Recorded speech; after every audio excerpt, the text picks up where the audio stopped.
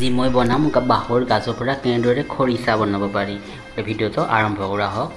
মই তাৰ বাবে তিনিটা মই বাঁহৰ গাজ লৈছোঁ। এইকেইটা ভালদৰে আপোনালোকে ধুই ল'ব। এই বাকলি ক'লাবোৰ চব আঁতৰাই দিব ভালদৰে। ভিতৰৰ বগা অংশখিনিহে ব্যৱহাৰ কৰিব। এই ক'লাবোৰ অংশ অকণমান তিতা লাগিব পাৰে সেইকাৰণে আপোনালোকে ভালদৰে ধুই ল'ব। ভালদৰে ধুই পেলাই এনেদৰে ভালকৈ চাফা কৰি ল'ব। এনেকুৱা ধৰণৰ কাটি ল'ব। সৰু সৰুকৈ যাতে ৰুকিব চুকিব পৰা যায় সৰু সৰুকৈ। আপোনালোকে কাটিব পাৰে সৰু সৰুকৈ। মই ৰুকনিৰে সেই ৰুকি লৈছোঁ চালাডৰ। মই এই ব্যৱহাৰ কৰিছোঁ।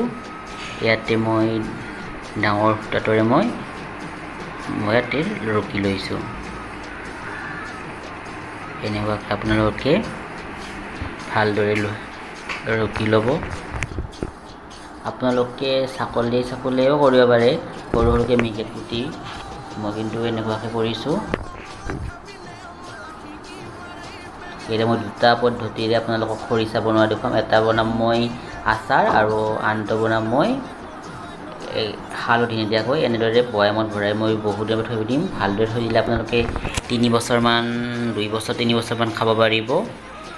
বিৰাট ধুনীয়া চেণ্ট আহে। এনেদৰে মই গোটেইখিনি ৰুকি লৈছোঁ।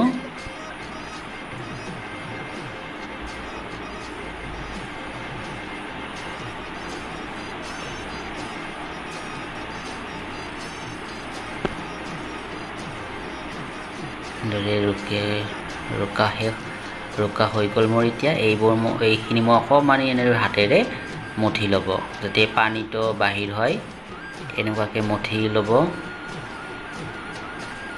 বেছি জোৰে জোৰে নহয় অকণমান লাহে লাহে এনেকৈ লাহে লাহে মঠি থাকিব। মোৰ হৈ গ'ল পানীটো অলপ অকণমান অকণমান পানী ওলোৱাৰ দৰে হৈছে এইখিনি এনেদৰে থৈ দিব। ইয়াৰে মই দুই ভাগ কৰি ল'ম এভাগৰ মই খৰিচা বনাম। আৰু এভাগত মই আচাৰ এই বাঁহৰ গাজৰ আচাৰ বনাম।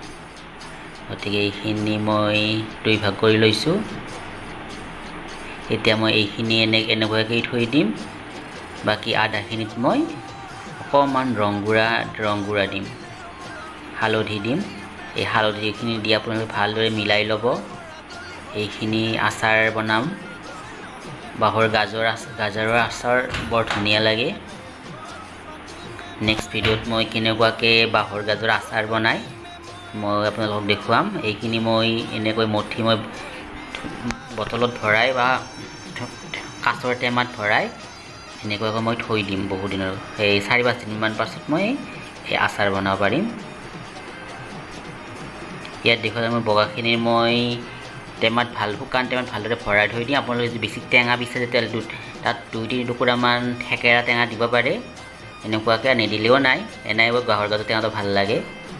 এইখিনি মই বনাম আচাৰ এইখিনি মই চাৰি পাঁচদিনমান মই কাছৰ পাত্ৰত ভৰাই ভালদৰে থৈ দিম। এনেকুৱাকৈ মই ভৰাই ভৰাই থৈ দিম।